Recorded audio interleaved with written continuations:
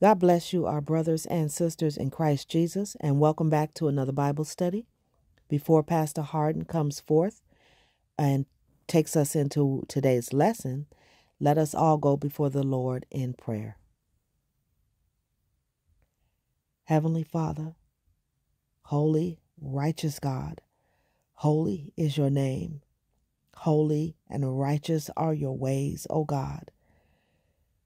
And holy is your only begotten Son, who is faithful and true.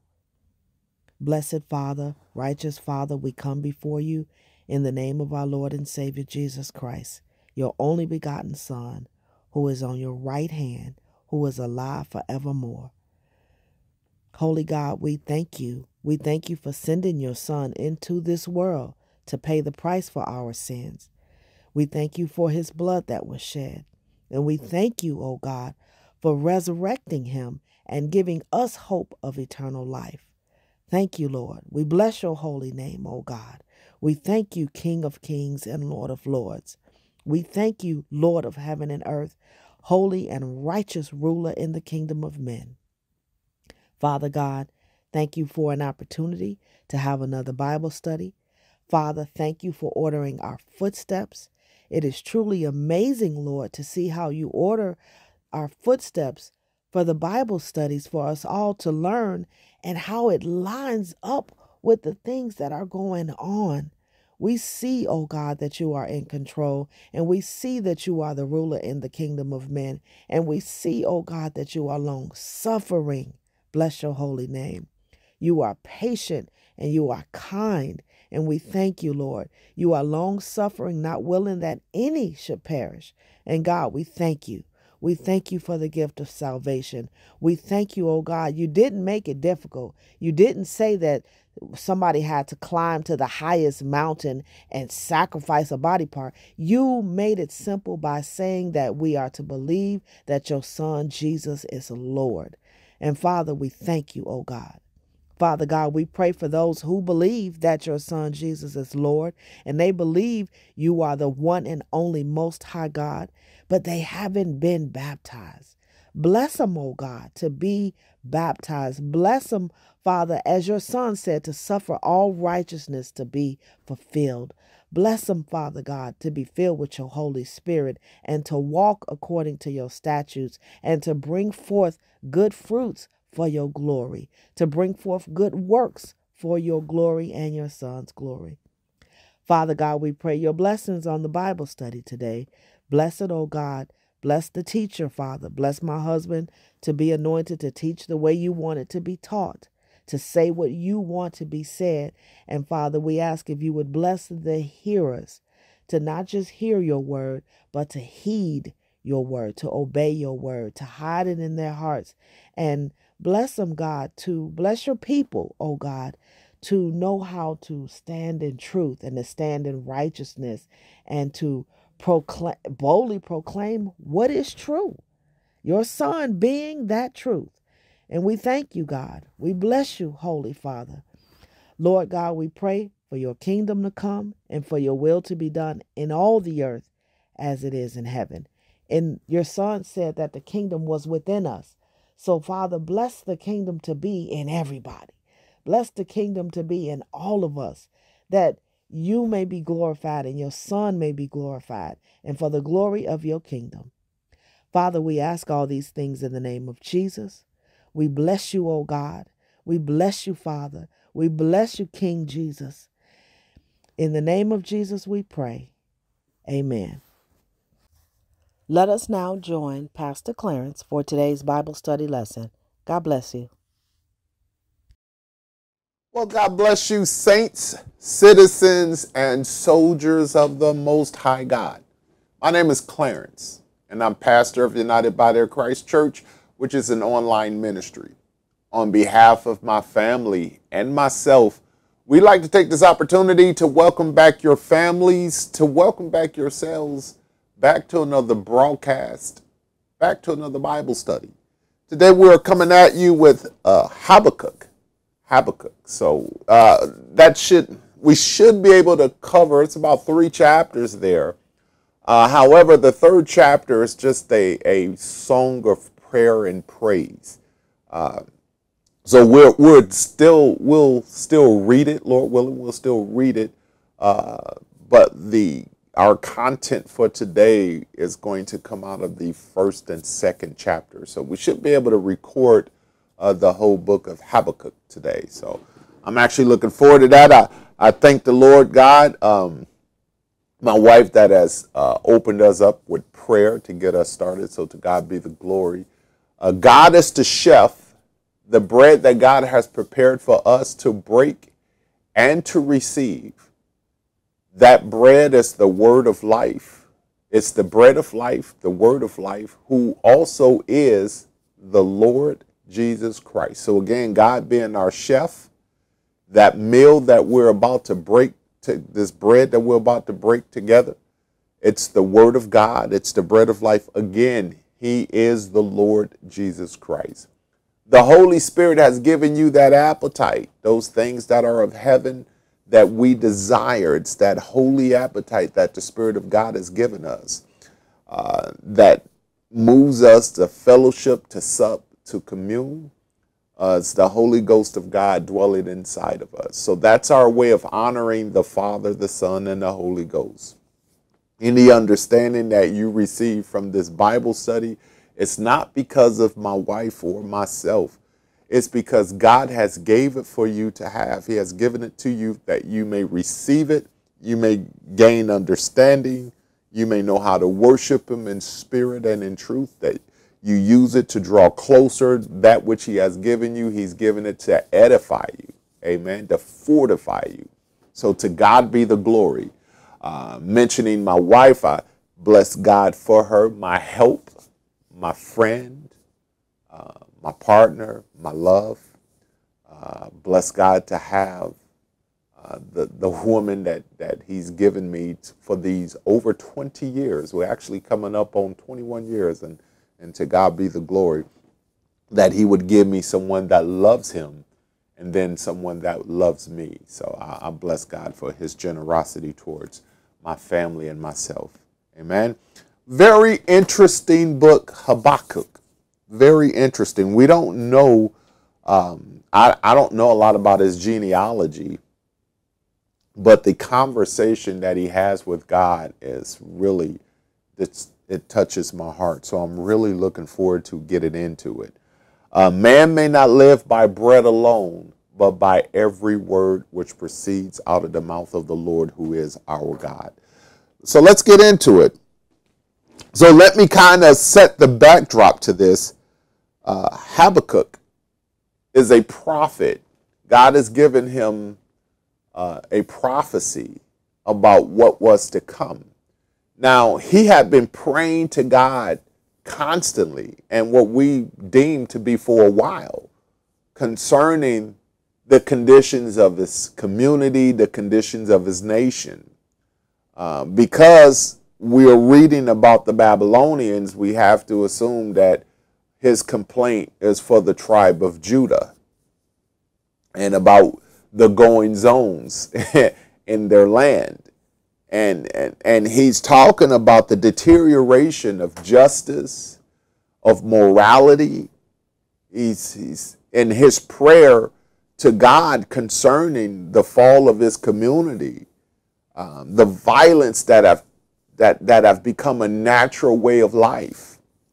When we look at the state of our own country, we look and, and we find the goodness. I mean, I, let me, I'll be the first to say that uh, I love where I live, where my family and I resides. I, I love the job that I'm able to go and work daily, the community in which I live, um, the country that I live in love it. Wouldn't wouldn't trade it for any other nation. Not even looking to to explore other nations. I'm very very happy with this one as far as what this country offers and what I'm able to offer the country in return. I love that. There are some problems that plague our nation.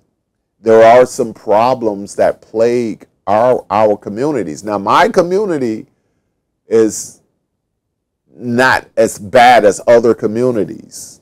Okay? And when you read the reports of a lot of other communities, surrounding communities, you, you bless God.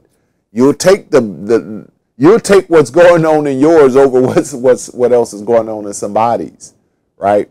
Somebody else's. But there's still a concern about the path uh, that our nation is is headed in. There's you know where we are and how bad things are getting. It seems like the wicked outweigh the righteous in our nation, and that the righteous have to keep silent and just allow what they're seeing happening around them. And if you speak up and speak out, you know, you can people want to deem you as you know as, as because of what you're saying they may call it hate speech because you're not allowed to to to to call out anything that's wicked they'll call you an extremist. And all of these things is to shut you up and shut you down right? So that you can't broadcast your dismay about the perversions and the wickedness and the dishonesty that's happening the violence the looting the plundering. So Habakkuk sees these things happening in his own community. And he has this relationship with God to where he goes to God and begins to talk to God about, hey, look at these things happening. How long will you allow them to keep manifesting? You, you, you're causing me to look at all of these things, and I'm grieved by what I see. And you won't I don't know if I'm more grieved by what I see or the fact that you're not doing anything about it. You know, so these are things that come up uh, uh between uh, Habakkuk, you know, and, his conversations with God concerning that. So, you know, again, just to kind of bring it into modern terms, it's those things that grieve you and bother you about what you see happening in, in your own nation and how you're constantly praying to God that that righteousness prevail, that justice prevail. This is the the the the, the things that's going on with Habakkuk. So that's kind of the backdrop there. So let's get right into it. Uh, Habakkuk, uh, and and his name means embracer or clinger. The one, you know, the a person that clings or embracer. He's known as the embracer. Amen. So that's pretty interesting. So let's get right into it. Habakkuk chapter 1, verse 1. The burden which Habakkuk the prophet did see, so it's this prophecy. O Lord, how long shall I cry, and thou wilt not hear? Even cry out unto thee of violence, and thou wilt not save. So, so the question is, what grieves me most, that which I see, or that which I see and you're not addressing? the fact that you're not addressing what I see, you know, what, what grieves me most? And that question comes up here. Why doest thou show me iniquity and cause me to behold grievance? For spoiling and violence are before me, and there are that rise, that raise up strife and contentions. So again, this is as, as I was given the backdrop the, the, the things that really grieve him. You can't go out in broad daylight because what used to happen at nighttime has now spilled over into the daytime. And sin is brazen. It evolves, right? It gets worse. It's, it's, it, it, used to be locked behind closed doors and the secrets of, of one's houses, but now it comes out in broad daylight and out in the open. And it get becomes brazen, right? To where it's no longer trying to hide what it's doing. It's all out in the open. It's a problem. And and he brings this to God and he's like, How long do I have to indulge this? Do do people like me have to indulge this? That's not right. And he was like, There are they that raise up strife and contention. They look, they, it's like they're employed to start problems, to make problems their, empl- their, whole gain in when they wake up to start their day the, the start of their day is what what trouble can i solve what violence can i be a can i participate in or, or could i produce what what is it that i could get myself into today how what mischief what menace to society you know, can can I be involved in? It's, it's that's where it is, right? And so he begins to say in his prayer to God, therefore the law is slacked, and judgment doeth never go forth. For the wicked do compass about the righteous. Therefore wrong judgment proceeded. So he was like the wicked outweigh the righteous. You know? And he was like, we can't look at the law because there are so many that are perverted. Even those that set over the law, they're perverted. They're brought, they're, they've been bought and uh, uh, they've been sold Justice has been brought and paid for, been bought and paid for by the wicked. They sit on councils and judges' office and, and various things of the sort. And he was like, they, it seems like, and isn't it like when you go to a movie, if you, those of you that still go to movies or what have you, if you try to watch a family movie, you know, maybe the Transformers or something like that, and it seems like the enemy always has the biggest and the best, right? And and it's always like the enemy always seems to outnumber, outgun, and outnumber the forces of good, right? And he has this complaint here, and he has that same complaint in verse 4. The law is slack, judgment doeth never go forth, for the wicked do compass about the righteous. And he said how the, the wicked outnumbers the righteous. Therefore, wrong judgment proceedeth. Now, this is his complaint. And what you can deem from this is this is a good relationship between him and the Lord because he's constantly in contact with God concerning his problems or concerning his community problems, his nation's problems uh, uh, that has plagued his community and he's on his knees, which is where he needs to be, which is where we need to be. Remember, these things are written for our understanding, right? To see what to do and what not to do. And we are to bring our concerns, our cares, we're to bring them before the Lord. And that's what he's doing, okay? And he's very detailed in, in his prayer, okay? Now, God answers him. God responds uh, to his, his concerns, his complaints. God, God has something to say. So let's drop down to verse 5. Behold, ye among the heathen in regard, wonder marvelously, for I will work a work in your days, which ye will not believe, though it be told you. So God says, Look at the nations. I'm going to do something in the midst of the nations that that will raise eyebrows. And if someone told you what would happen, you wouldn't believe it. Right? God says, I'm going to do this work. For lo, I rise up the I raise up the Chaldeans, that bitter and hasty nation which shall march through the breadth of the land to possess the dwelling places that are not theirs. They are terrible and dreadful. Their judgment and their dignity shall proceed of them. So he says their reputation precedes them. This is pretty interesting because God says, For lo, I raise up the Chaldeans. Now I want to hold your place there. And, and God is saying, uh, first of all, let me explain that a little more, and then I want to reference a scripture here. When God says that the reputation precedes them, and, and, look what he says here when he when he talks about the the repetition. He says they are terrible and dreadful. Their judgment and their and their uh, uh, uh, dignity shall proceed of themselves. So God says they have no dignity about themselves, none. They don't they don't care. They don't they they don't have this integrity or, or, or this moral character about themselves. They're the opposite. They're a bunch of barbarians. They're a bunch of brutes. They're a bunch of, uh, of mercenaries that that hunger and thirst for blood, right?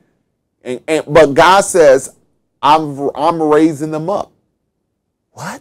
You're raising them up? Now, look go with me to this verse here. Go with me to Isaiah. We want to look at Isaiah chapter 45 verses 7 verses 5 through 7. Isaiah chapter 45, uh, verses 5 through 7.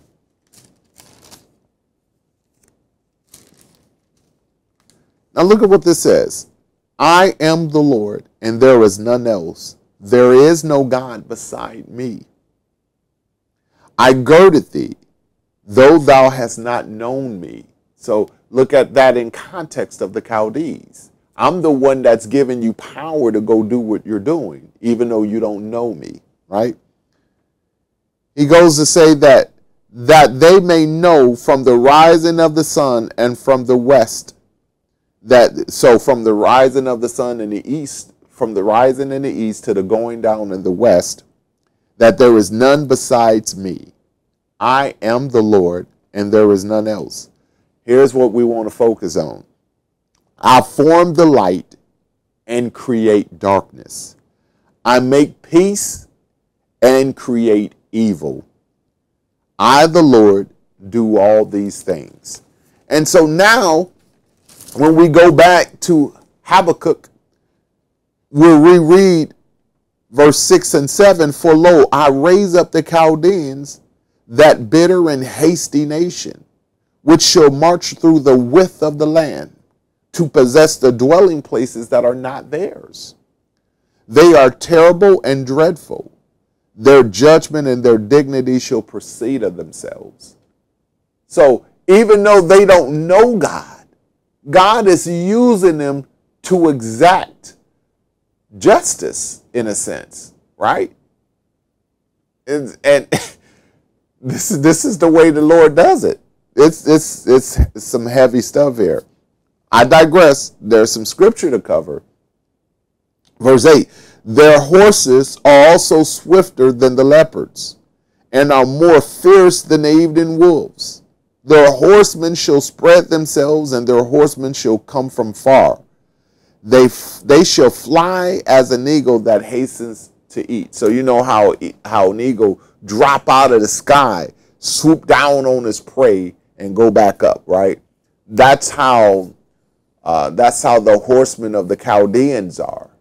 Once they fixate on, on their target, they go in for the kill instantly, immediately, right?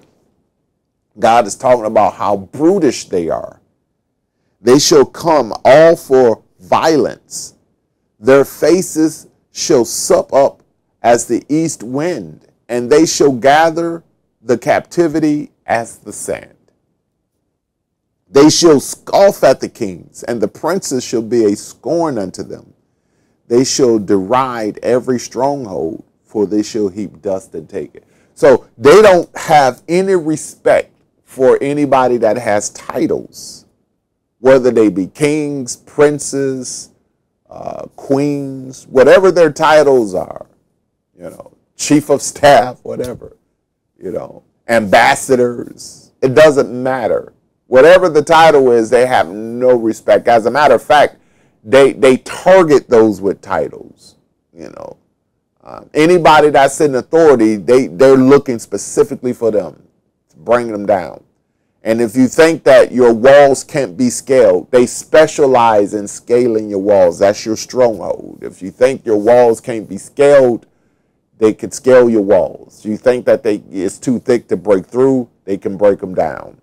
You have no protection against their military might. And they're being used by God to exact his justice. That's that's what's so compelling here. And that's why God said, Lo, he says, I will work a work in your days which you will not believe. And it's and and it's like, wait a minute, you're going to use evil to purge evil. That's that's and that's why God called it a marvelous work, because you you won't believe it, right? Again, the complaint that that the concern and the complaint that Habakkuk has is that evil prevails in the land. The wicked have become brazen. And God says, okay, my remedy for that is I'm going to send some wickedness in there to purge the wickedness. this is a powerful, this really is something that's heavy. I digress. We got scripture to cover. So, re- rereading verse 10, they shall scuff at the end, they shall scuff at the kings, and the princes shall be scorned unto them.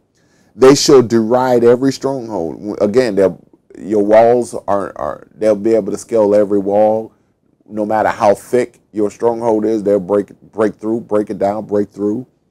Uh, they shall heap dust and take it. Then shall his mind change, and he shall pass over and offend, imputing this his power unto his God. So once he's done with the job, he moves on to the next instantly. He has no compassion. He doesn't stop to memorialize or to give eulogies from those that, that died. He doesn't take it personal. He just looks at it as a conquest and move on to the next. Instantly, his mind changes just like that. And he's not beholden to me. God is saying that they're not beholden to me. They'll look at their strength and and and praise some uh, praise an uh, uh, an idol for the strength that you know for the victory that they have in this conquest right they, that's that's how they are so that's heavy so now that's that's god's response to habakkuk now habakkuk has a response to god after he was just given this vision this burden this vision right so this is what he tells God. And this is a relationship. This this is when, when we see these things written, it helps us to to gauge the interactions here because it's okay when you're in a relationship with God, you don't want to get in God's way, but it's okay to ask him things in prayer you know, it's okay to, to ask him about the decisions he make. That don't mean you're going to understand. But he prefers to have a relationship with you because he didn't make robots. He didn't make zombies, right? He did that's not who he is. He didn't make us like that.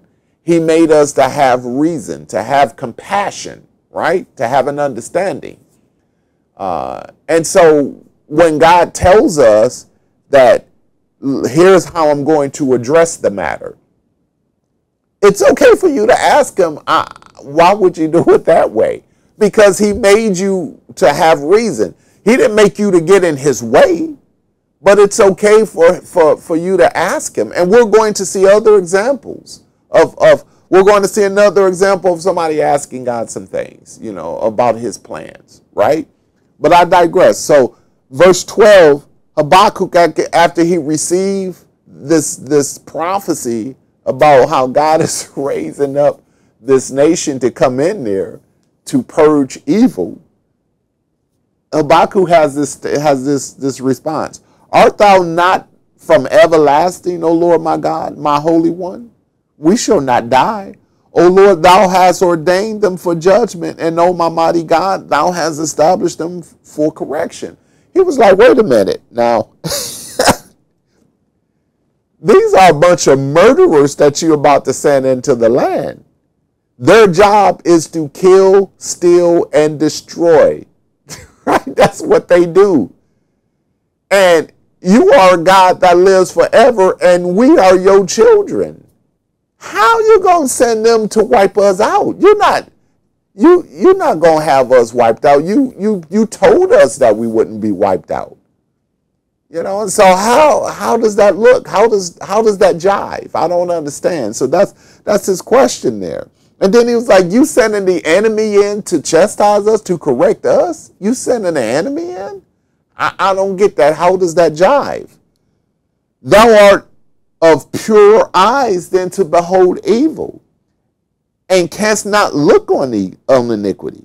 Wherefore lookest thou upon them that deal treacherously, and holdest thy tongue when the wicked devoureth the man that is more righteous than he? God, you're too holy. You too, you're too pure to be sending this nation in that's full of evil. To even look upon them as they do their dirt. How is that possible of you? I, I don't get that. Right? How how how would you allow that? I I, I don't understand. And it's that's that's the this is written here for our understanding. It's okay because as God made us and has given us a heart of reason and a heart of compassion, that we walk in love, that we walk in the righteousness of Jesus, who is the Christ, we're washed with his blood, right? As we come into these things, surely we have compassion. And so we may not understand. So it's okay to ask God to reason with God about his plan, right? It's to reason. You just don't want to get in the way, right? You have to understand that God is the Lord of hosts. I'll give you another example of this. Go with me to, um, well, first I, I, I need to cover, uh, go back with me to Isaiah chapter 55. There's something I need to cover here. Yes, Isaiah chapter 55. And I was trying, I'm trying to make sure I don't get ahead of myself. And look what this says. This is Isaiah 55, verses 8 through 11. My thoughts are not your thoughts, neither are your ways my ways, saith the Lord. For as the heavens are higher than the earth, so are my ways higher than your ways, and my thoughts higher than your thoughts. For as the rain cometh down and the snow from the heaven, and returneth not thither, but watereth the earth, and maketh it bring forth bud, and bring forth and bud, that it may give seed to the sower and bread to the eater. So shall my word that goeth forth out of my mouth, it shall not return unto me void, but it shall accomplish that which I please, and it shall prosper in the thing whereunto I sent it. So God is, we don't understand, but not everything is for our, our understanding. And so God says that your ways are not my ways. My ways, my thoughts are higher than your thoughts. And so God, as God puts this prophecy out here and says that what He's going to do, He put it out there, so it's got to go and accomplish what He called it to do. And so when He don't need us to sign on to what He is doing, but He doesn't do anything without letting His prophets know what He's going to do in the earth. And again, the way he's made us, he's made us to be able to, to, to have a relationship with him, to question him. But we can't be trying to, well, if I was, if, if, if the choice was up to me, Lord, I would do it this way or do it. Well, that choice is not up to you. But he does communicate with his people about what it is that he's doing. And we're not able to see what, what it's going to accomplish, but it's going to glorify God in the end. The things that God does here on this earth, they're meant to glorify Him. Amen. So we'll get in again to another example of being able to, to reason with God. Okay? So, but at, before we do that, let's continue to read. Uh, Thou art pure eyes, we read that. So, verse 14, and makest men as the fishes of the sea, as the creeping things that have no ruler over them. They take up all of them with an angle. They catch them in their net and they gather them in their drag. Therefore, they rejoice and are glad. He was like, These thugs, these mercenaries that you that you sending in here, these these killers that are coming in here, their sole aim, their sole purpose is to gather up as many as they can catch and kill them. That's what they're known for. And they celebrate, they they they they, they always celebrate the number of, of, of those that they caught that they caught and killed. You know, it's always a topic of celebration with them. Therefore, they sacrifice unto their nets and they burn incense unto their drags, because by them their portion is fat, their meat is plenteous. Shall they Therefore, empty their net and not and not spare continually to slay the nations. You're sending them into is you're sending them into Judah. You're gonna keep even after us, you're gonna keep allowing them to go and do all of this and you not say anything about it. Now God has this response in chapter two. This it's real this is real heavy here. Chapter 2, verse 1. I will stand upon my watch and set me upon the tower and will watch to see what he will say unto me and what I shall answer when I am reproved. And the Lord answered me and said, Write the vision, make it plain upon tables, that he may run that readeth it. Now, let's add some context here because Habakkuk had an attitude. You could tell he had an attitude when he said, Shall they therefore empty their nets and not spare continually to slay the nations? He's like, Are you just going to allow them to keep doing what they do and not, not intervene, not stop them? After us, who will they conquer next? You just going to stand by? And then, so he goes on to say, I'll tell you what, while you're waiting, while you're, while you're formulating your answer, I'll just come to, I'll just go into the watchtower and look out for them, you know, so I can see when they get here. I'll just, how about that? While I'm waiting to hear what you got to say, why don't I just climb up to the watchtower and be on the lookout, you know, and see when they coming, you know? He said, since since you since you saying that that's what you gonna do, let me just. And he's not mocking God. He's just got he has an attitude. You know, he's just like I, I just go and watch and wait for him to get here. Since since your plan is in motion, you know, fine, I'll just wait till they get. So then God says to him, Come down from there. I need what I told you, I need you to go publish it so that the so that people can read it and run to go get their houses in order. I didn't tell you for you to just keep it to yourself and to just watch and wait for the enemy to come. Perhaps the people may want to get their lives together. Perhaps they may want to change after they hear that I'm coming after their sins, right? Maybe they'll read and, and hear this news of what I'm going to do, and maybe they'll change them themselves, right? They, they, they may get their houses in order. I didn't give it to you for you to hoard it for yourself and then have an attitude setting up there festering because of what my plans are. This is my way. This is, and then I'm, I'm using you to get the word out. I'm not using you to keep the word in. I'm using you to get the word out to alert and inform my children about what my plans are so that they can create some plans as to how to get out of the mess that they put themselves into. That's pretty interesting. That is heavy. God wants, when God tells us something, He's not trying to keep it inside. He, he's giving it to you so you can broadcast, so you can publish it.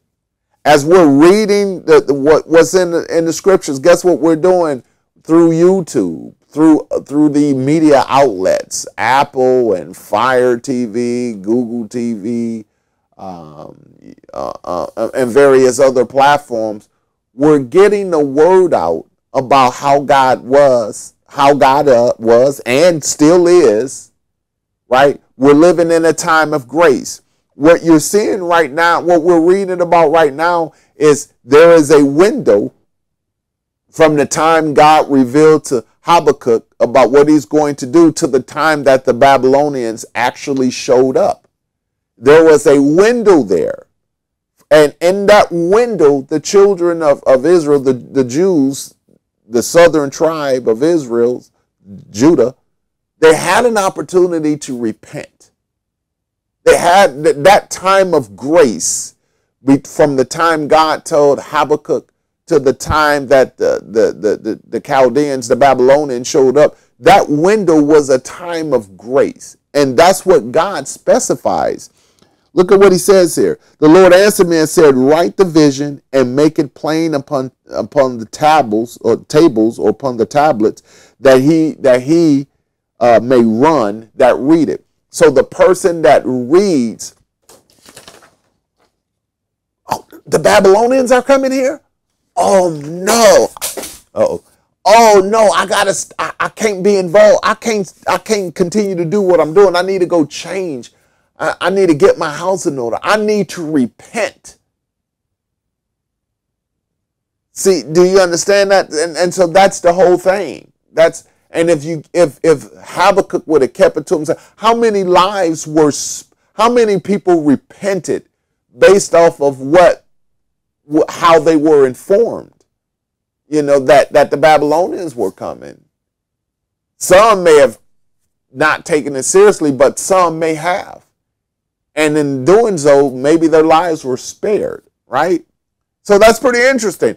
The prophet called an attitude, went to the watchtower and said, Fine, I'll just I'll just be on watch. Since that's your plans and that's how you get things done, you know, you are the Lord of hosts. And if that's what you're gonna do, fine. And the Lord was like, No, nah, I need you to get down there. I need you to come down from that watchtower. Don't be looking out. Don't look out to see when the enemy's coming. I need you to take what I've told you and to broadcast it, to publish it so that you give the people a chance, right? So, and that's what he did. But look at what's interesting here. For the vision is yet for an appointed time. So that's this time of grace for the people to get themselves together. But at the end, it shall speak. It's going to happen, right? That's what he's saying. And not lie. Remember what when we read Isaiah where he said that he, his word goes out and it doesn't come back void? So that's that's that's confirming that when it says that it shall speak and not lie, though it tarry, wait for it. It will tarry not. So God says it, it's not happening instantly. I set it out to accomplish at the very time that it's supposed to happen. And when it happened, it's going to it's going to happen, right? And he said it's it's set in motion, right? And then he says, surely he said because it will surely come, it will not tarry.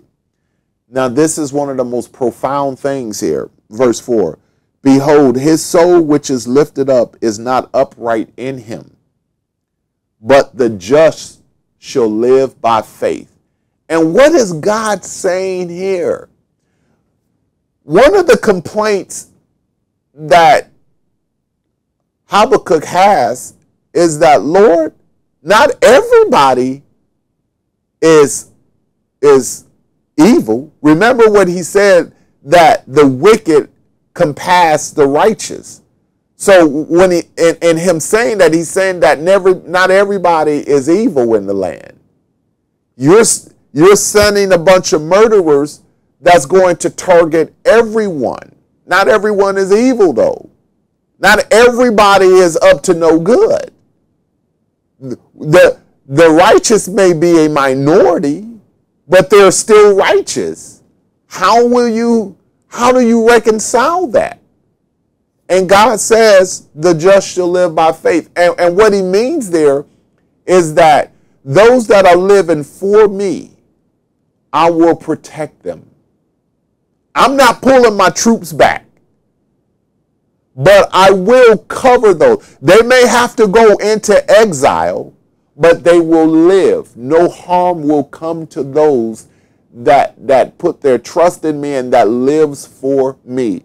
Those that trust, those that believe, those that have faith in me, I will not let hurt, harm, or danger come unto them. They may be relocated but life will go on for them and they won't be harmed. The just shall live by faith. That's what he's saying there. And that's a powerful statement. And hold your place there and go with me to Genesis chapter 1, uh, chapter 18, rather. Genesis chapter 18. Remember when I said it's okay for you to question and plan a God because God made you, He didn't make you a zombie. He didn't make you um, a robot. He, he gave you a heart and a mind to reason, right? He just don't need you in his way. It's okay for you to ask him, but you know, don't don't be trying to you know get in his way of things. Um, I wanted to give you an example. Look at this. This is Genesis chapter 18, beginning at verse 16. The men rose up from thence, and they looked toward Sodom. And Abraham went with them to bring them on the way. And the Lord said, Shall I hide from Abram that thing which I do? So God came off his throne, came down, um, and surveilled. God was told about what was going on in Sodom and Gomorrah, right? I'm under the impression that this may have been Jesus uh, that have come. I could be wrong, but I, I, I believe that you know Jesus came down and and and he was shown you got and, and that's just me. I, I, I digress. Let me just stick with the scripture here. The lord said i sh- should i hire from abram that thing which i do? Because remember god with his people with his prophets he liked to let them know what's going to happen before it happens. Seeing that abraham shall surely become a great and a mighty nation and all the nations of the earth shall be blessed in him for I know him, that he will command his children and his household after him, and they shall keep the way of the Lord to do justice and judgment, that the Lord may bring upon Abram that which he had spoken of him. The Lord said, Because the cry of Sodom and Gomorrah is great, and because their sin is very grievous, I will go down now and see whether they have done altogether according to the cry of it, which has come unto me. And if not, I will know. So the reports that God have gotten about Sodom and Gomorrah, I believe he sent his son to see to, to take the report to see what what what the goings ons was, right? And he had a plan to fix it. if the reports were true. So the men turned their faces from thence and they went toward Sodom. But Abraham stood yet before the Lord. And Abram drew near and said, Will thou also destroy the righteous with the wicked? This is the complaint that Habakkuk has. Perhaps or peradventure there be fifty righteous within the city. Will thou also destroy and not spare the place for the fifty righteous that are therein? That be far from thee to do after this manner, to slay the righteous with the wicked, and that the righteous should be as the wicked. That be far from thee. Shall not the judge of all the earth do right? It's okay to, this is the relationship that we have with God. It's okay to ask God, to reason with Him. But at the end of it, there is a time. There is what did what did uh, uh in Ecclesiastics?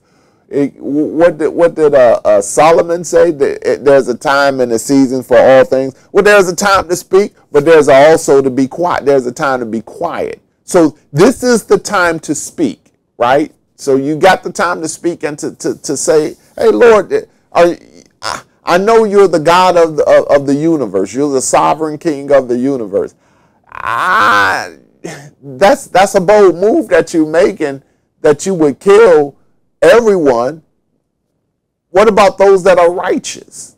It's okay because that's who we are. He made us to have compassion. So it's okay to ask him. That's what he wants. He wants that dialogue with us, right? The Lord said, if I, he says, if I find in Sodom 50 righteous within the city, then I will spare all the place for their sakes. Abram answered and said, Behold, now I've taken upon me to speak unto the unto the Lord, which I am but dust and ashes. Perhaps there shall lack five of the fifty righteous wilt thou destroy. So what if there's 45 instead of 50, which you still destroy? Now this goes on and on. We won't continue to read, but I wanted to give you an example of how it's okay to reason with God about those things that God reveals to us. There is a time to speak, but we're going to see that there is also a time to keep silent. But in that time to speak, it's okay to, to address your concerns with God, especially when He reveals His plans. If He gives you the window, it's okay. That's okay. Amen. So, but that's that's part of our relationship with Him, and I just think that that's a beautiful thing. I digress. I wanted to share that with you because this is this is pretty interesting. So let's get back into it. So uh, chapter two here. Uh, ye shall all let me see uh, verse five. Ye also because he's trans oh he said the just shall live by faith. So we understand that that God is not in the business of taking out the righteous with the unrighteous. He's not his he's going to see that his wrath doesn't fall upon them. That's what it means here when it's written the just shall live by faith that because we live for God, He is going to take care of us. We won't be caught up uh, in in his wrath when he sends his troops in to to come after the wicked. Okay, he is going to use evil to purge evil. Okay, uh, and and those that are not involved in evil, they're they're not going to be targeted, and that's what that verse is saying. So verse five, ye also because he transgresses by wine, he is a proud man, neither keepeth at home. Uh, who enlarges his desire as hell and is as death and cannot satisfy or cannot be satisfied, but gather unto him all nations and heapeth him heapeth unto him all people. So now God God sets his sights upon those troops that he sends in, that he's going to send in. God is going to look at those Babylonians. And and and he he so he lets Habakkuk know two things. The Babylonians will come in and purge Judah of their wickedness. But then God is going to purge the Babylonians. And that's what you're going, that's what we're going to start to read. And, and what's so surprising about it is God says that the very things that they've done to others, it's going to be done unto them. He's not, just as God is not going to let the sinners that are in Judah off the hook, he is not going to let the Babylonians off the hook. So that's what we're reading from verse 5 on. Yea, also because he transgresses by wine, he is a proud man, neither keepeth at home, who enlarges his desire as hell, and is as death, and cannot be satisfied. But he gather unto him all nations, and heapeth unto him all people. Shall not all these take up a parable against him, and a touting proverb against him, and say, Woe to him that increases that which is not his? How long? And to him that layeth himself with thick clay. So the that who has an appetite for blood and death should not blood and death has an appetite for you. Right? That's what it's saying. And that it's basically saying whatsoever a man soweth, that shall he also reap. That's a law that God set into motion. And it's it's it's going to happen. Verse 7 Shall they not rise up suddenly that shall bite thee, and awake the and awake that shall vex thee, and thou shalt be booties for unto them? So those that you bit, those that you vexed, those that you plundered, now you're going now the vexed are going to vex you. They're going to plunder you. Um, and, and those that you bitten will now bite you. So the very things that you've done to others will come back onto you. This is a law that God has set into motion. And so, whatever we've done in the past and we repented of and we move forward, you may have atoned for what you've done, but that what you've done still need to be reconciled because you you set something into motion. Do you understand that? It has to be God is going to be there because you've repented, God is going to be there with you as you go through it. But you still set forth a course of action in the midst of your sins. So whatever a man soweth, that shall he also reap.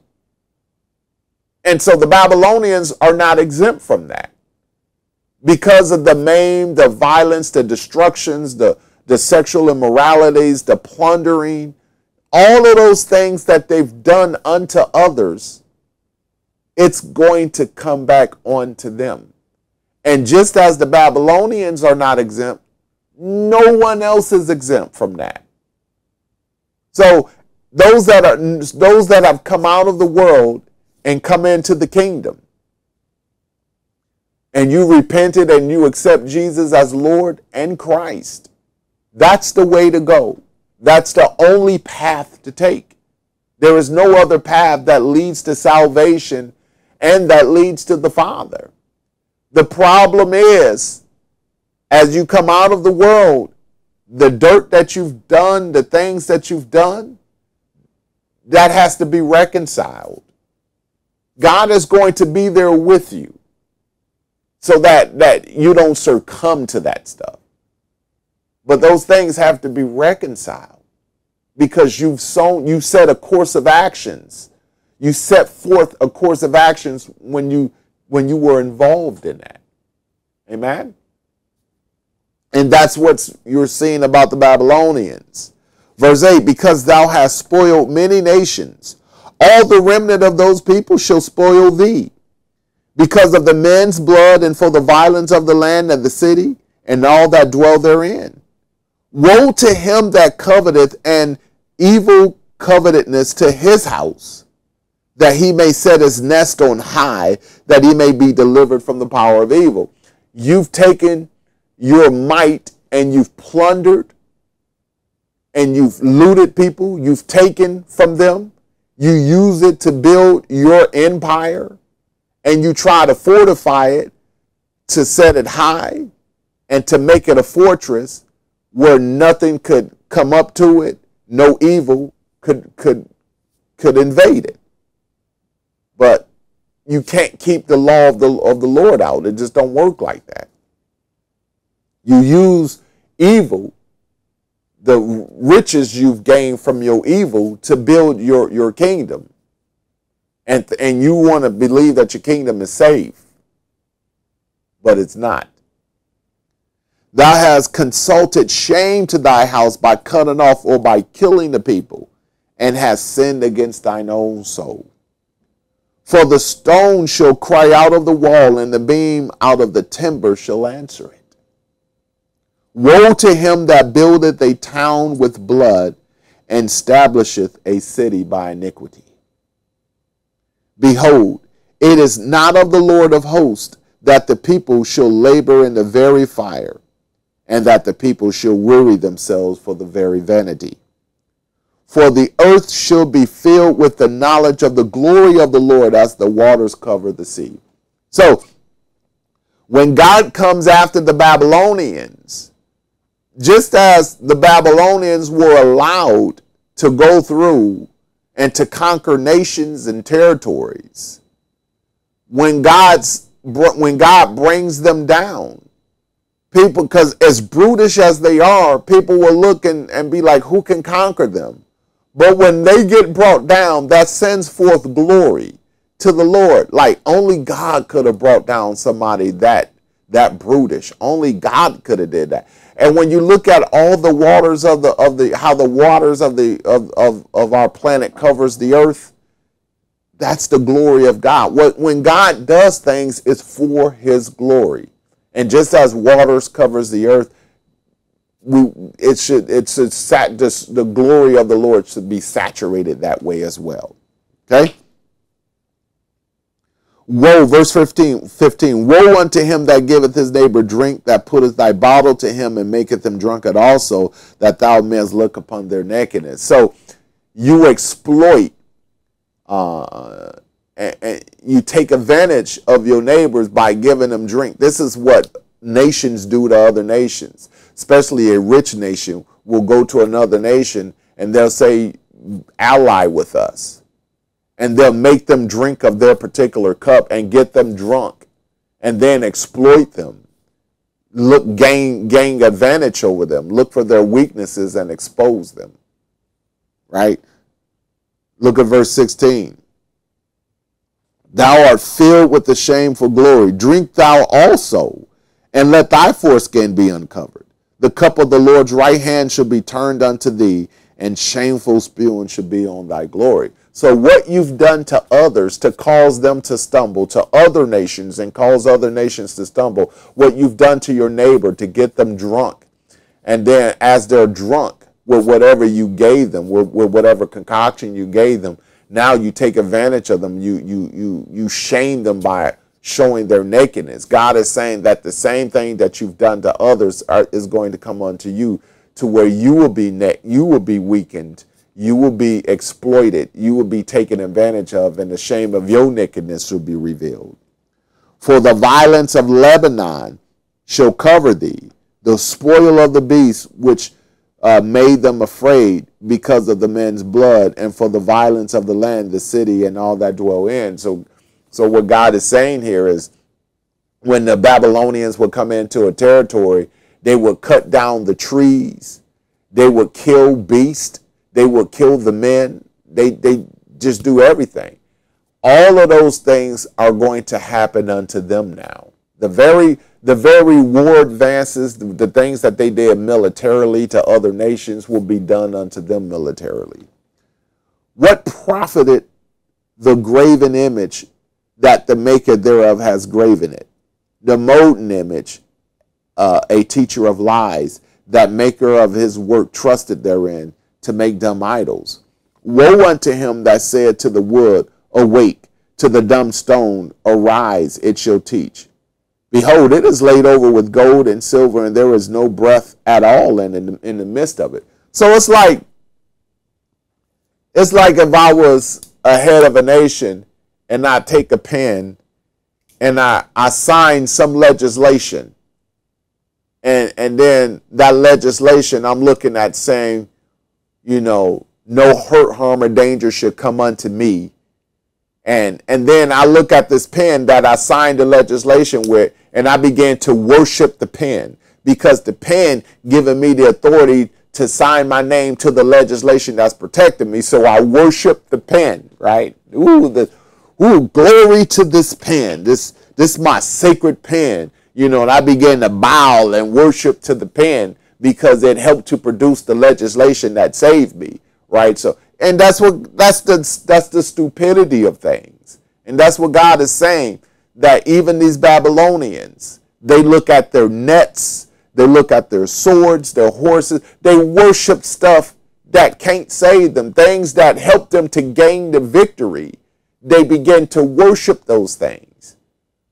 But those things are dumb. And when God comes, He is going to show that those things that you worshiped as idols, that you attributed your victories to, when I send a new nation to come and get you, those things are not going to save you. Those things that you believed was, was your answer that gave you the strength and power to be victorious in your conquest. Those things will not help you when I have targeted you. And so we have to look at the same thing, right? The, when we look at our nation, we look at certain government, certain people to put into offices to, to save us, right? We look at certain people to, to, to save us from, from this and from that. We, we to the point that we'll look at them people as idols.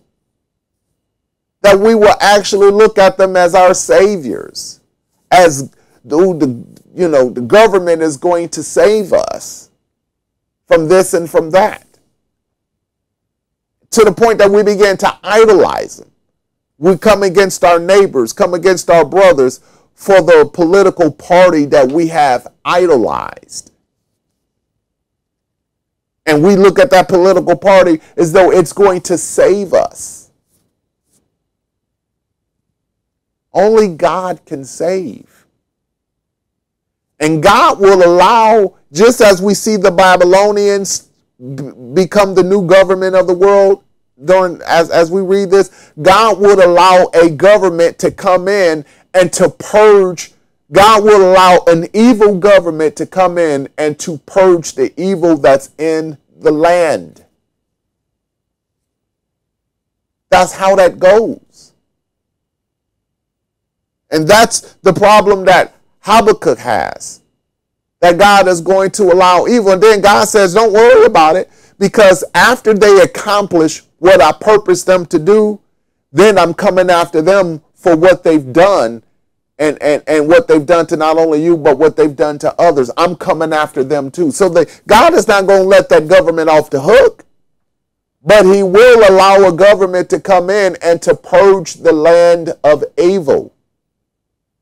And before that government comes in, God gives you a chance to get your act together. He gives you a chance. You see the writing on the wall, and he'll say, Go and get go get your house in order. Go and repent. Because when they get up in there, they're going to come heavy and hard.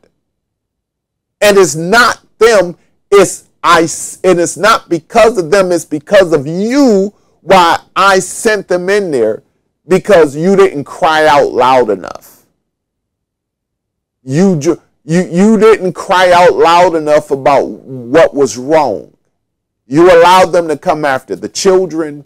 You allow them to come after the neighbors, to exploit, to punt, to, to plunder, to, to curse God in public, you know. You allowed them to do so much and you did so little to the point that you became complacent. So God will allow a government to come in there, a nation to come in. That's how that goes. But you have to understand that God is. And as long as we are about being a people of faith, it don't matter who's in charge.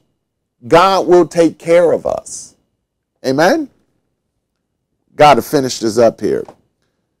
So woe unto him that said to the wood, Awake, and the dumb stone arise, and it shall teach, Behold, it is laid over with gold and silver, and there is no breath at all in the midst of it.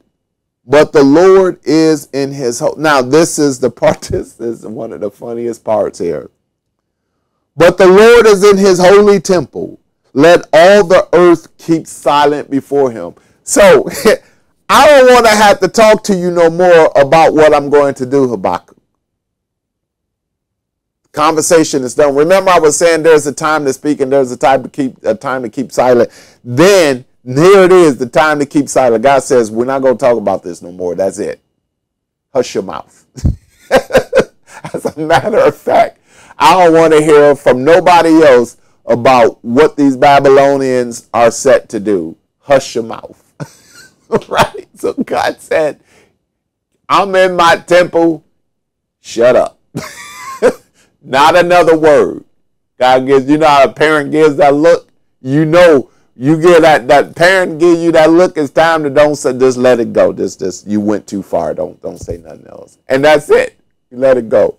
So that's chapter one and two. Chapter three is a prayer that's in a song format. It's a song of praise and worship, but it's also a prayer. And I can tell you, we're just going to read it. There's nothing really to talk about. What you know evident here is that Habakkuk becomes a changed man. Because we read a couple scriptures where it says that God, his ways are far from our ways, and that God is not going to allow the righteous to perish. Enough said. Don't be in don't be in the watchtower sitting there with an attitude. Be active about what God is going to do. Broadcast it, proclaim it, declare it so that others will know and be able to get their houses together.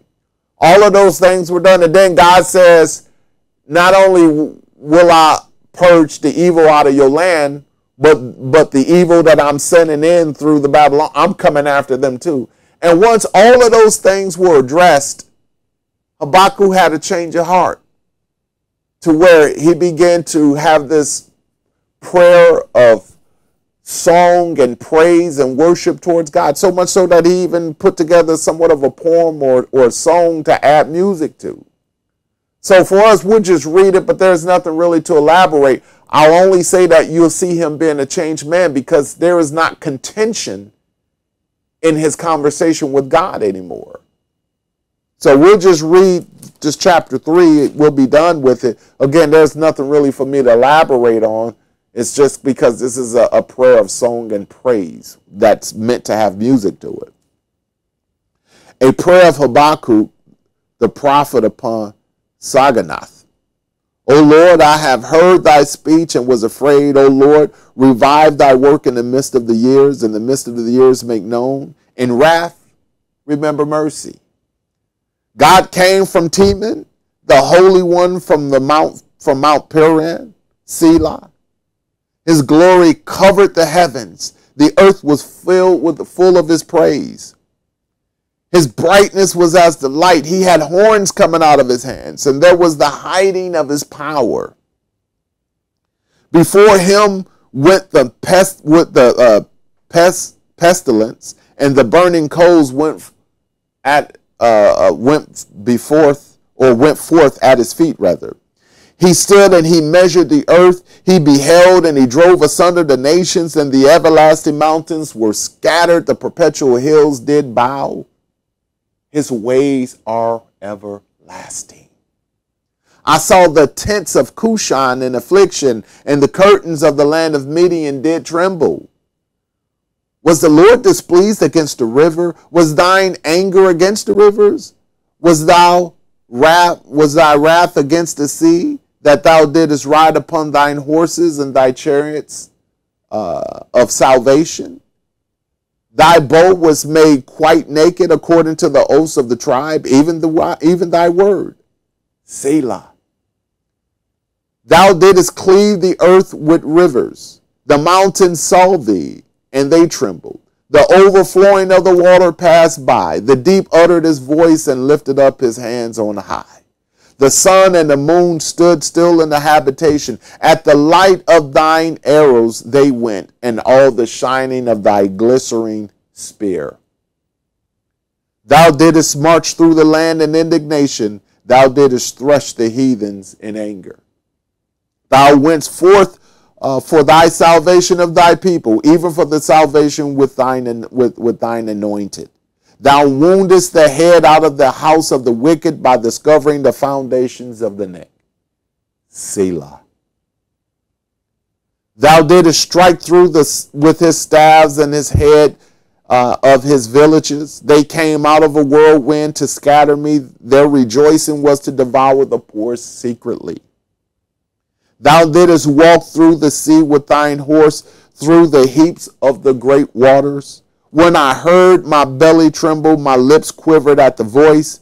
Rottenness entered into my bones, and I trembled in myself that I might rest in the day of trouble. When he cometh up unto the people, he will invade them with his troops, because he is the Lord of hosts. Although the fig tree shall not blossom, neither shall the fruit be in the vines, the labor of the olive shall fail and the fields shall yield no meat. The flock shall be cut off from the fold, and there shall be no herd in the stalls. Yet will I rejoice in the Lord. I will joy in the God of my salvation. And that's a powerful part of the song, this song of praise that he gives to God. Regardless of whatever happens when the Babylonians come, I will still rejoice in the Lord I will joy in, in the God of my salvation. The Lord God is my strength, and he will make my feet like hinds' feet, and he will make me to walk upon mine high places. To the chief singer of my string instruments. Eternal God, I thank you for such an excellent conversation that you allowed to be recorded for our understanding. You allowed it to be written for our understanding. With it, help us to understand that your ways are higher than that of our own. Help us to develop our relationship with you. That just as the prophet constantly came to you with cares and concern, that we can develop our prayer lives and our relationships with you. God, I thank you for being open to such a relationship with us. Have your way with us individually and collectively. And just as you did the children of, of Judah, the children of Israel, help us to get our houses in order. Help us to repent. Help us to draw closer to you, to live for you. Help us to be as those, as you said, the just shall live by faith. Help us, Father, that we are those whom you spare, that we live according to our faith and our trust in you.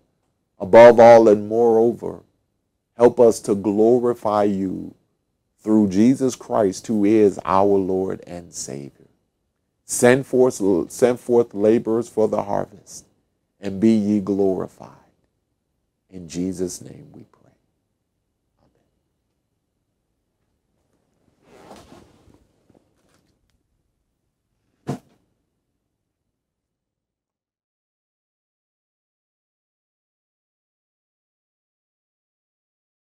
Go with me quickly uh, to Matthew 11. I'll read through these very quick. This is the path. You can always find, uh, if you go to our website, you can always find the path laid out for you to obtain the gift of salvation.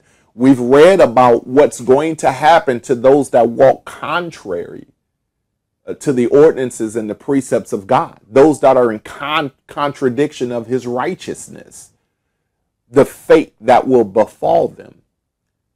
Here is how here's how you are saved from that. It starts with Jesus Christ offering you an invitation to be saved.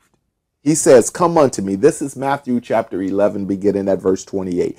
Come unto me, all ye that labor and are heavy laden, and I will give you rest.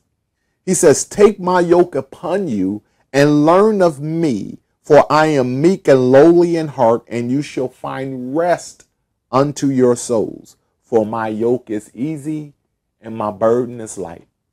The one thing you got to understand is he he has his he has the best life that he wants to give you. He's got your he's got your interests at heart.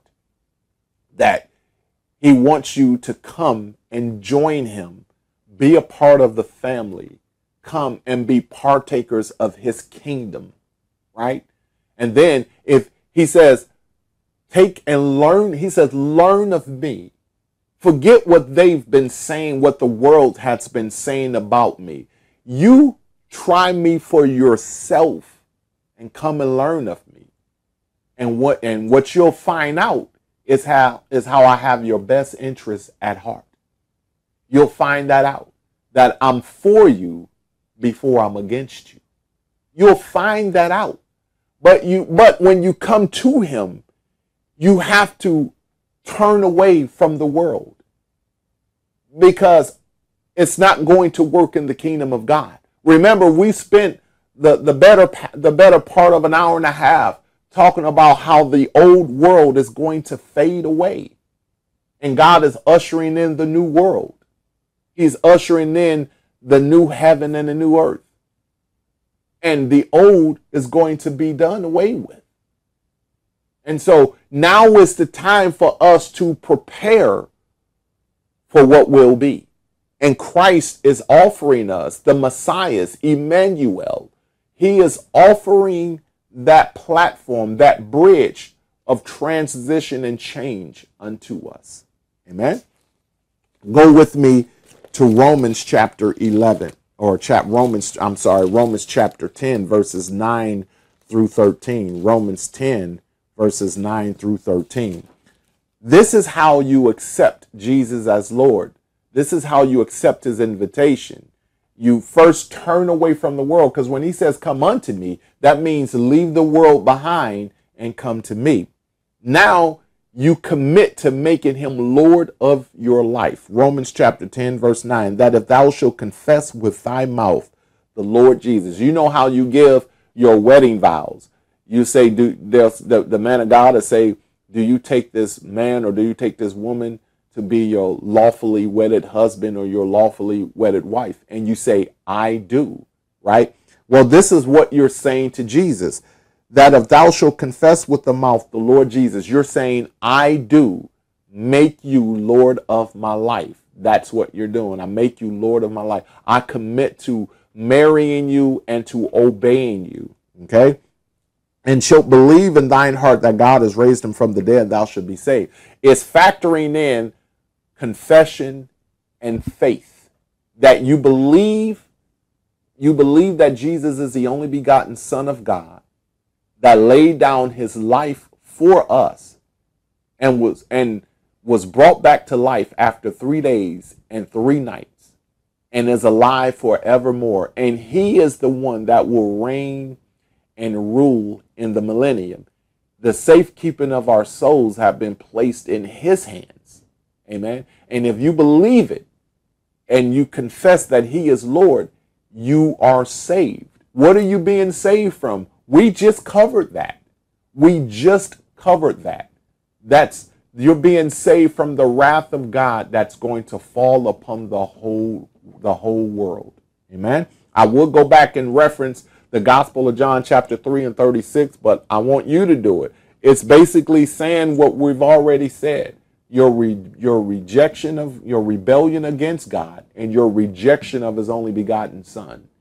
And, and that's the wrath. But if you take this path, you enjoy, you, you, you, uh, excuse me, if you take this path, you're removed from the wrath that's going to come upon the earth. For with the heart man believeth unto righteousness, with the mouth confession is made unto salvation. For the scripture saith, Whosoever believeth on him shall not be ashamed. For there is no difference between the Jew and the Greek, for the same Lord over all is rich unto all that call upon him. And so there's good and bad. That as God would punish the children of Israel, he will punish his children that are Gentiles. And the good is that God was saving his children, the Jews. He's also looking to save us, the Gentiles. So there's no difference with God when it comes to salvation being offered between the Jews and the Gentiles. There's no difference when it comes to that.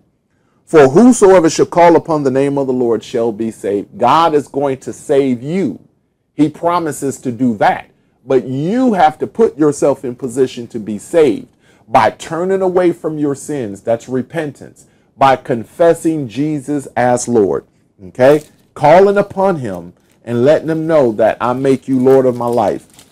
Quickly go with me to 1 John chapter 1 verses 8 through 10. 1 John chapter 1 verses 8 through 10. If we say that we have no sin, we deceive ourselves and the truth is not in us. If we confess our sins, he is faithful and just to forgive us of our sins and to cleanse us from all unrighteousness.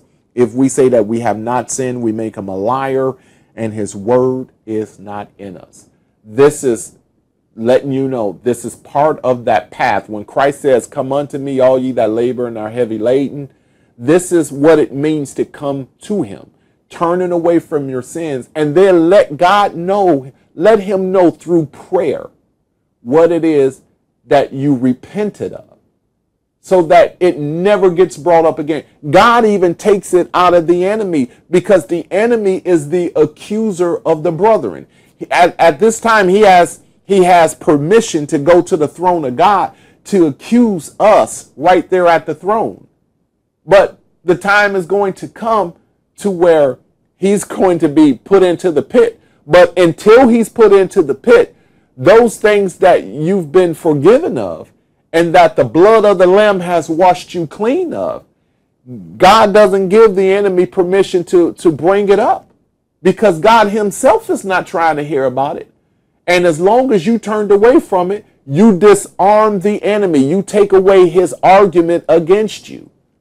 That's that's the bottom line. But if you're still living in your sin, then the enemy is constantly bringing it up because he wants God to penalize you. He wants God to turn him loose on you. Okay? And so once you do what you're supposed to and you start walking right with God, then the enemy has to he has to get up off of you. He can't even bring a case against you. He could try to make one, but he can't bring one. He could try to tempt you, but as long as you're covered in the armor of God and you resist him, he has nothing to complain about at the throne of God. Amen. If we say that we have not sinned, we make him a liar and his word is not in us. If you're not honest about what's broken about you, then you can't be saved. If you live in deceit and dishonesty, there's nothing that the word can do for you. Amen. Lastly, and quickly go with me to Acts chapter 2, verses 36 through 47. Acts chapter 2, verses 36 through 47. And I'll just read through this. Therefore, let all the house of Israel know surely that God had made that same Jesus whom you've crucified, both Lord and Christ. And what Peter is saying here is that surely those that have gathered here in this upper room on this particular day of Pentecost, that's the backdrop of what's going on here. Surely those that are here it's hard to believe that any of you would have taken nails and drive them through the hands of Jesus, crucifying him on the cross, taking nails and driving them through the feet as he was crucified on the cross. But your lifestyle, those unrepented sins, those sins that you haven't repented of, that that makes you just as guilty as those that had done that to him. Okay, you may say I, I, I'm not doing all those things but sin in your life, period, makes you just as guilty guilty as those that had nailed Jesus to the cross.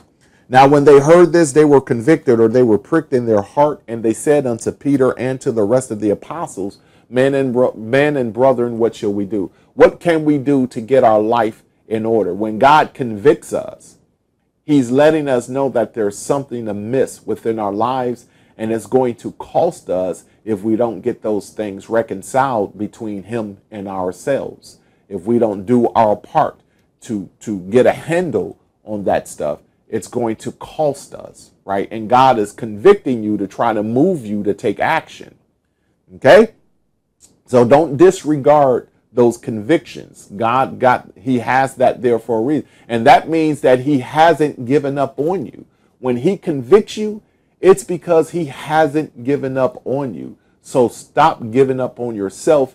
Do something about what's happening with your situation. Take hold of it before God turns you over. You don't want him to turn you over. Amen. When I say turn you over, turn you over to the enemy or turn you over to yourself. That's the worst that he can do to you. So Peter says, repent, turn away from your sins first and foremost. Then Peter gives us the instruction, be ye baptized you know, in the name of Jesus for the remission of sins. Be baptized, every one of you, in the name of Jesus for the for the remission of sins. Now, let's talk about the ceremony of baptism. Christ was nailed to the cross, laying down his life, meaning that he died on the cross, taken down off the cross, and laid to rest in the tomb. He laid to rest in a tomb. Remember, he was dead. For three days and for three nights, he laid to rest. After three days and three nights, he was brought back to life. Laid to rest, brought back to life. Okay? When we go through the ceremony of baptism, we are uh, some fully submerged in the water. That represents us being buried in Christ Jesus. Okay, when we go down into the water, being fully submerged, we are buried in Jesus Christ. When we come up out of the water, we are resurrected in Jesus Christ. Your old man goes down, your new man comes up all of your sins are washed away. You remember in our Bible study, we talked about God getting rid of the old to make room for the new. This is the process of you inheriting the new, your name being counted amongst those in the Lamb's book of life. This is that process. Your old man has to be done and away with. Your new man has to come forth so that you can take part in the new world uh, uh, with the kingdom of God. Amen. That starts now. Your training of inheriting that which is to come starts now. But the old man has to go down, the new man has to come up. Amen. So that's the ceremony of baptism. That's why we do it. We're told to do it, and I've given you the reason of why we go through it so that your old man can go down and your new man can come up and all of your sins can be washed away. So make sure you get it done. Amen. Um, and you shall receive the gift of the Holy Ghost. God puts His Spirit inside of us to seal us up.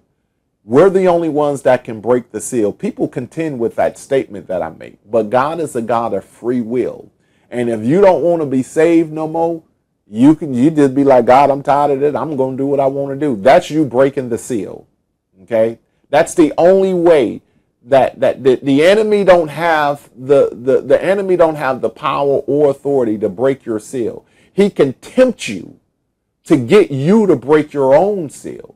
You're sealed up. Imagine uh, you're being put in an envelope and that envelope is sealed up. Nobody has the authority to to break that seal open but the Lamb of God and you. You can break that seal by saying, I don't want to be saved no more. I don't want to live according, and you go about your life and you'll perish with the rest. Amen. The, the enemy don't have, all he can do is tempt you to make you try to do it against yourself. So that's why God gives us his spirit so that he can be inside of us. His spirit is constantly uh, uh, transforming us on the inside out, giving you a hunger and a thirst of righteousness, making you, moving you towards prayer, uh, uh, getting into the doctrine of, of the Word of God. You know, it's moving you towards those holy and godly things that when you were as a natural man, you thought these things were foolish. Now, because you're spiritual, having received the Spirit of God, and you're spiritual, these things are not are not foolish to you any longer. For the promise is unto you and to your children and to those that are far off, even as many as the Lord God shall call. God is always trying to call us out of darkness, but it's up to us if we're willing to come into the light that He's that He offers us. He's always the invitation is always there, but it's up to you if you're going to accept it. And it don't matter where you come from or what you or what you've done. What matters is what you're willing to do at this point. And with many other words did he testify and exhort, saying, Save yourselves from this untoward generation. That applies to us today. Save yourselves from this crooked or perverse generation. That applies to us. That's what we've been reading about in Isaiah about those that didn't separate themselves, those that didn't call upon Jesus Christ to be Lord. Amen. And that's what that's what Peter is constantly telling us got to take this thing seriously. Then they that gladly received the word were baptized, and the same day there were added unto them about 3,000 souls. And now, and here is another path set before us how to grow stronger and closer to God. They continue steadfastly in the apostles' doctrine and fellowship, in breaking of bread and in prayers. God keeps when, whatever God used to get you saved, whether it's Bible study, uh, you you you you started following a friend to the place of worship and, and you received you you started receiving some truth. Whatever god has done to get you on the path to salvation it takes a, a practice and a continuation of those things to keep you getting stronger. It takes a daily dose or, or a regimen of those same activities to not only get you stronger, but to see you to the end. Once you start pulling back on those things, then you're in danger of falling back. And once you're in da- once you're, you're in danger of stopping, and from stopping, you're in danger of falling back, which in which is backsliding.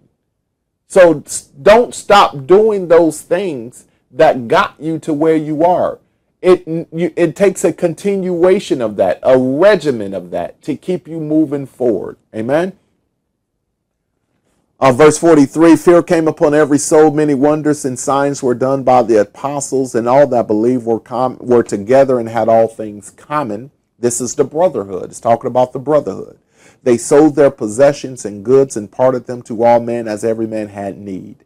And they, continuing daily with one accord in the temple and breaking bread from house to house, did eat their meat with gladness and singleness of heart, praising God and having favor with all the people. And the Lord added to the church daily such as should be saved. God, we take this opportunity to thank you for the path of salvation, for the gift of life, the gift of eternal life with you and with Jesus, who is Christ.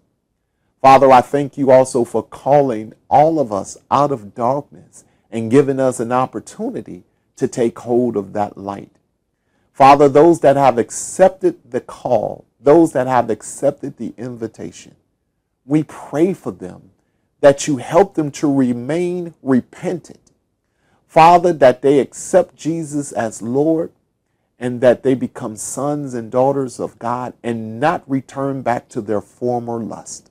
We pray for them, Father, that you would place them in places of worship, Father, to where they can not only worship you, but magnify Jesus and edify our brothers and sisters. We pray that not only you fill them with the Spirit of God, but that you also give them an understanding of their gifts and callings and use them for the sake of your glory. It's our petition for those whom you've called out of darkness and have answered the call. Father, I thank you for increasing the size of our family and keeping the door open for us to become citizens of the kingdom of God. Father, we thank you in Jesus' name and we pray. Amen. Uh, this is Numbers chapter 6, verses 24 through 26. If you have any unrepented sin in your life, you won't be able to take advantage of these blessings. Remember, sin brings about curses. Obedience brings about your blessings, right? And so this is a blessing. The word bless is littered all in this, right?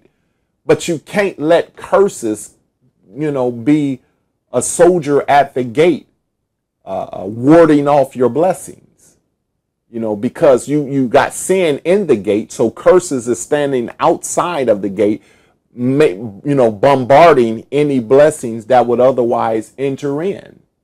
So you got to do away with, you got to get rid of the the the the sins in your life, so that you can dismiss the curses that are standing guard. Uh, I watch my wife and I lately. We've been watching the Lord of the Rings I don't remember. There's three of them, man. and if you ever go back and watch those, I mean, those like, if you watch all three of them, that's a good 12 hours, right? But they're very, if they they really do have such a spiritual meaning to it. I don't remember which one, if it's the first or the second or the third, but there was a king, and this king had this this um like his his his hand, his his right hand person had put some kind of spell over him. And so the king couldn't receive any counsel. He was like a zombie. He couldn't rule. He he couldn't give good orders. He couldn't call out good things. He couldn't he couldn't acknowledge things. All he can do was be a servant to the to darkness because his right hand person that didn't have his best interests at heart had a spell over him. It's similar to having it's similar to having sin in your life. And that sin is stopping any goodness from coming at you. Do you see what I'm saying? It's deflecting any goodness from coming at you. Right? And and then outside of the of the gates, it's got curses reinforcing the, the entrance to make sure blessings can't come in.